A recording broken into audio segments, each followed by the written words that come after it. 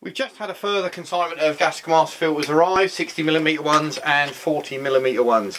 Just thought we'd do a little video just to see how they're shipped to us if you're interested. These ones are East European ones. They tend to be supplied in wooden crates as you can see. I've already popped the little tabs on that so that should open up, hopefully, fairly easily. And inside you've got a good selection of gas mask filters. These ones are the 60mm ones, have the 60mm um, fittings.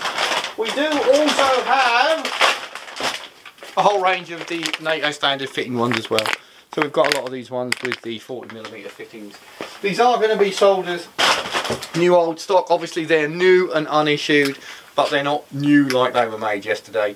They do generally have expiration dates on them, which will have passed. Um, Google it as I would and make your own judgment as to how useful they are past those expiration dates. But as we say, sealed in original packaging.